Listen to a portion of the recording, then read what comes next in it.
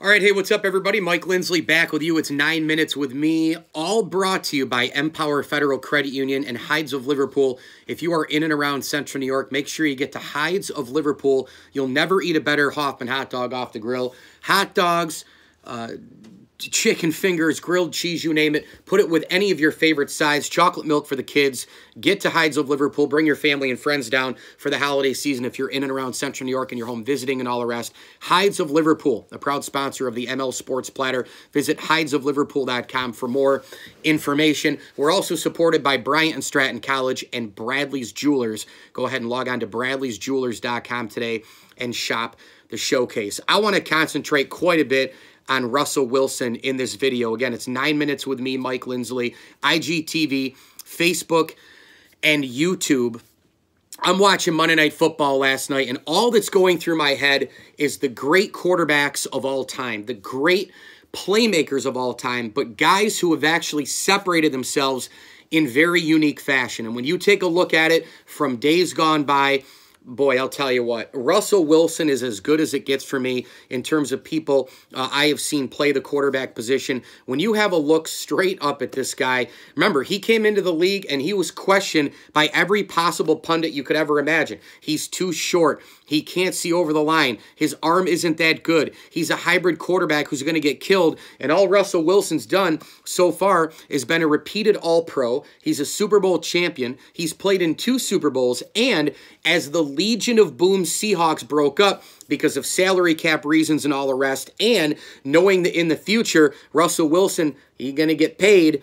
They got rid of a lot of people right now. Obviously, they're they're eh, kind of leaning on a couple guys defensively, Bobby Wagner being one of them, Wright being another one.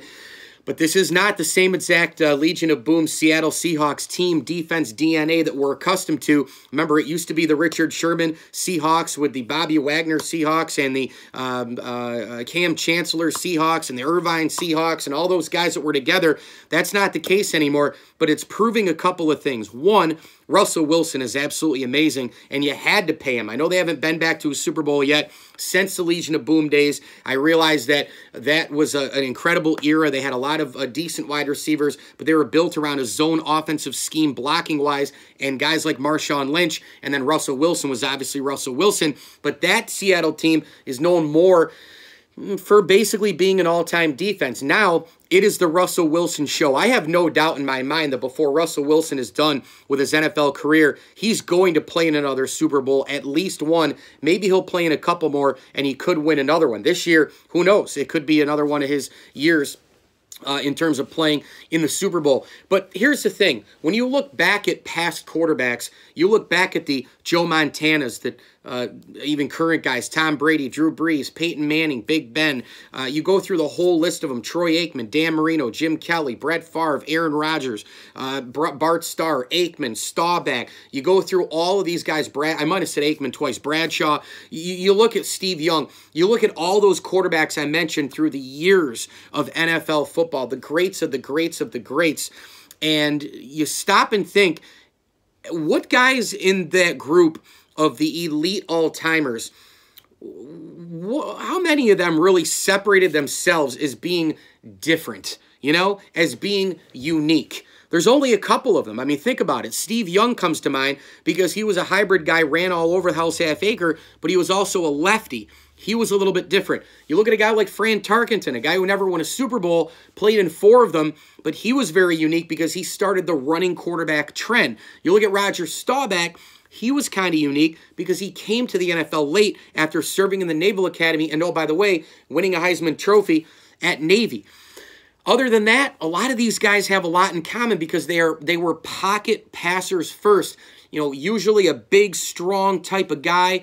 Bart, Brett Favre maybe separates himself a little bit because he took a lot more chances, threw a lot more interceptions doing so but he was still a lot more like a Dan Marino and a Jim Kelly, and a Troy Aikman and a Tom Brady and an Aaron Rodgers than he is Russell Wilson. Russell Wilson is a shorter type guy who is very much so a compact hybrid type guy who makes his own moves in the pocket and gets out of the pocket and maybe is one of the greatest quarterbacks we've ever seen throwing on the run. He is such a unique and dynamic talent one of the rare quarterbacks that I have ever seen. I know from uh, for a fact that there's a lot of people who have been around a lot longer than me who are really enjoying Russell Wilson's play right now as well. You're talking about a guy who is so unique that nobody can really you know, put a kind of a stamp on him and compare him to a lot of people. You know, Randall Cunningham maybe comes to mind, but then you look at him and you go, yeah, but Russell Wilson's far shorter than Randall Cunningham. Every single guy you try to bring up to compare to Russell Wilson,